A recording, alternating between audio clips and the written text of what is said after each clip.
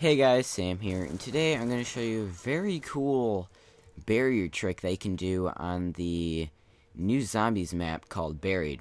Now, to do this, you need to finish building the trample steam. Now go ahead and equip it, and then head on over to the alleyway right in of the, right where the juggernaut is.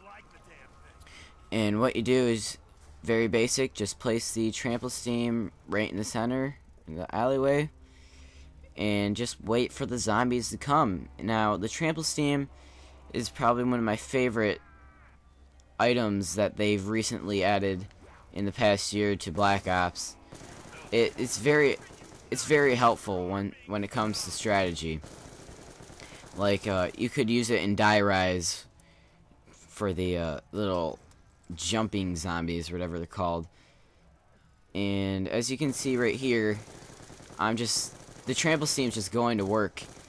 And you, right now, I'm just going to stop talking and let you guys enjoy the clip and watch it go to work.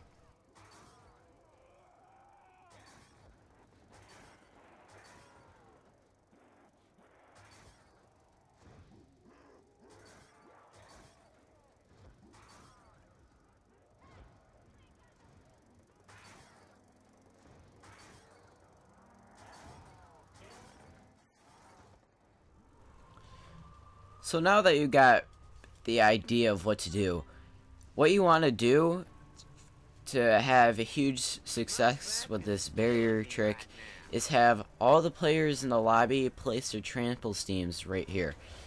And as you can tell, there's only three of us because the fourth guy left, and it didn't really help. But we're we're doing really well, as you can tell. We're on round 17. Just the three of us are on our own. Now, as you can tell, the trample steams are just going to work, taking care of all the zombies, and the players in the lobby are just shooting to get themselves some points. And be warned, the trample steams do break after a long time of just flinging the zombies. This doesn't last forever. Now, I hope you guys learned something new. Remember to like, favorite, and subscribe. Also follow me on Twitter at RealTPMS. Thank you guys so much for watching.